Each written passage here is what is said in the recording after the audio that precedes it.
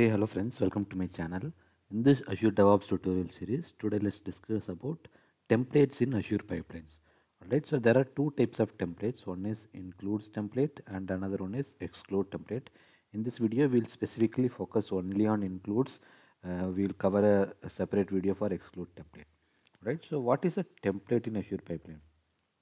So we saw a glimpse about what is template in our previous video, but here we'll dig in little deeper to understand definition, when and why to use it, and how do we use it in real time and all. Alright, so template lets you define reusable content, logic, and parameters in YAML pipeline. So uh, consider you have a step that is repeated across your uh, YAML scripts, you know, very frequently in those kind of situation what you can do is instead of repeating the steps multiple times you can create a template and reuse it whenever you need it. Right so that so that you know it is uh, it can be easily maintained and the reusability is much more promoted in your YAML code. All right so it can help you speed up the development. So when you uh, when you try to reuse something that is existing in your code obviously it is going to help you in speeding up the development. For example, say you, you have a series of same tasks in a template and then include the template multiple times in different stages of your YAML pipeline. Right. So as I said, if you uh, if, if, there if there are a series of uh, similar tasks that is used across your YAML code, then you can you create a template and then use that template in your original pipeline. All right and uh, templates can also help you secure your pipeline all right? So when a template controls what is allowed in a pipeline the template defines the logic that another file must follow right? So uh, so what happens is it also helps you in securing your pipeline because the control is actually in a different pipeline. So what you can do is you can actually uh, restrict people to uh, use a different pipeline. Like uh, you can you can restrict people to use some specific or uh, secured kind of information. So when you specify a secured kind of information in a template which you do not want anyone to see, those kind of uh, situations you can promote the security in your YAML pipeline. Right. So for example, you may want to restrict what tasks are allowed to run. Okay, for that scenario, you can use templates to prevent someone from successfully running a task that violates your organization security policies right? So this is all about an introduction to templates in Azure pipelines. Uh, there are two types of templates. One is includes and another one is extends template. So uh, includes template it lets you insert reusable content within a template right? So if a template is used to uh, include content it functions like an include directive in many programming language. Like uh, content from one file is inserted into another file. Do not worry we'll see an example to make it make you understand it better. All right next one is extends template. Uh, sorry for that i said excludes in my introduction. It is actually extends. Uh, so uh, uh we'll we'll cover it as a separate video and uh, try to explain it in detail. For now we'll just focus only on includes template. Right so uh, when you want to understand how to insert a template all you need to do is you can copy content from one YAML and reuse it in a different YAML. Okay, so say you have a repeatable steps in a YAML file, you can copy that step and put it into a different YAML and create a template. Right. So copying content from one YAML to another saves you from having to manually include the same logic in multiple places. All right. So you can divide these templates into one of these four categories. So one is stage, job, step, variable. Okay. So in our um, introduction to Azure pipelines, we would have seen a glance about what all these are like. What is a stage? What is a job, step, variable, and all right. So um, you, know, you can reuse the template at different levels. Like for example, you can use it at a stage level. You can use it at a job level.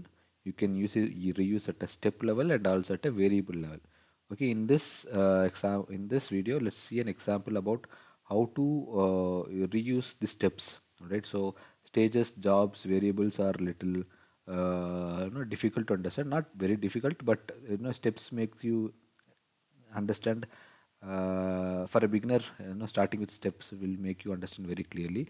Do not worry going forward we'll go into uh, little complex problems and try to see how uh, stages, how uh, jobs, variables and all will work in Azure pipelines. All right. So let me jump onto my pipelines. So project online DevOps demo. Let me go into edit mode.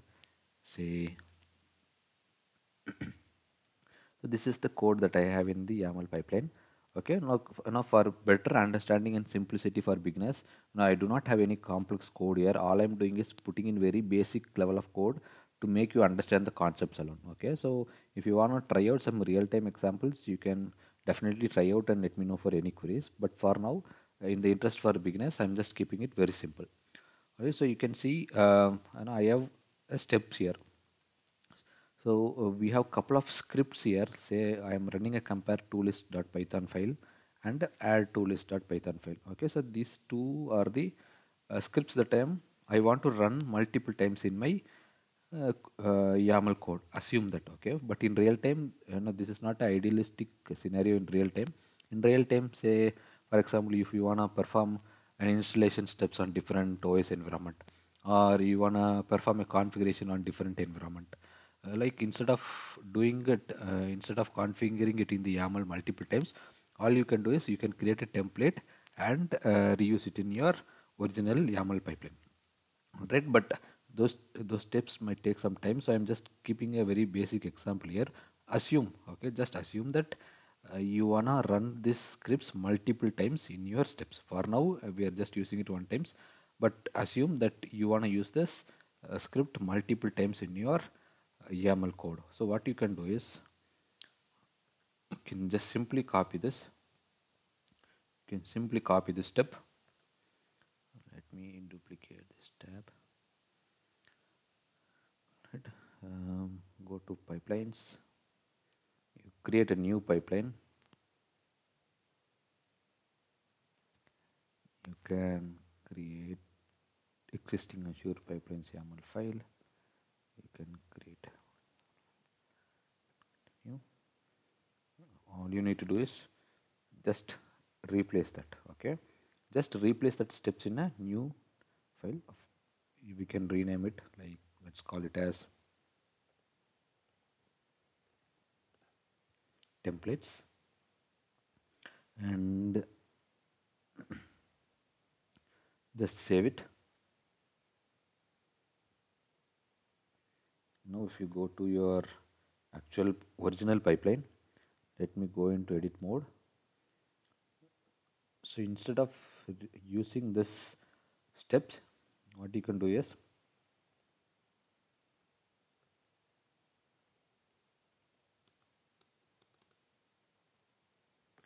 can use a template. Let me try this use template.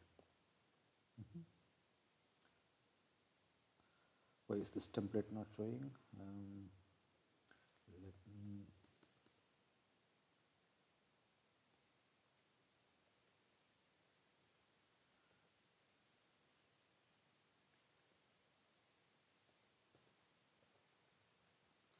what is the mistake I'm doing? Let me give me a moment.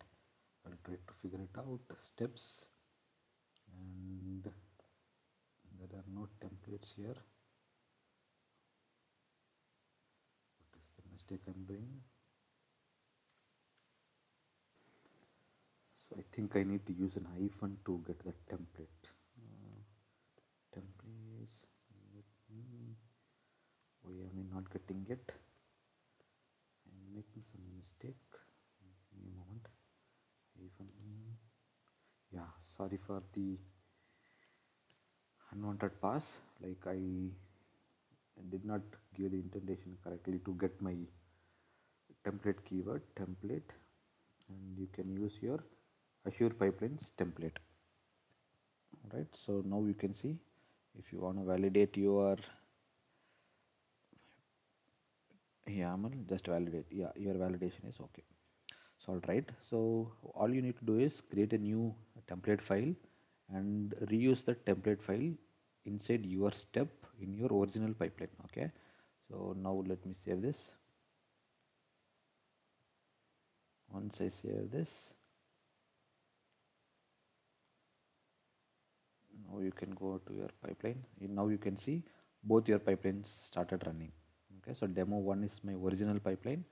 Demo is my uh, second pipeline that is the template file uh, pipeline. So now it is uh, running. So it might take a while to run. Yeah now my first original pipeline ran successfully and next I'm just waiting for my template file to run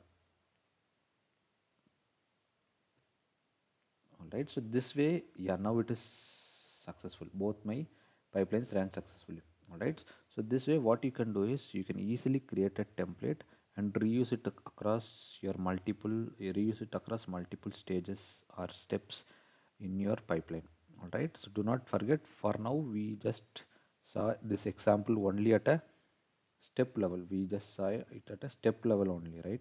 Whereas we can reuse it at stage level job level and variable level too. We'll see all these examples uh, in future.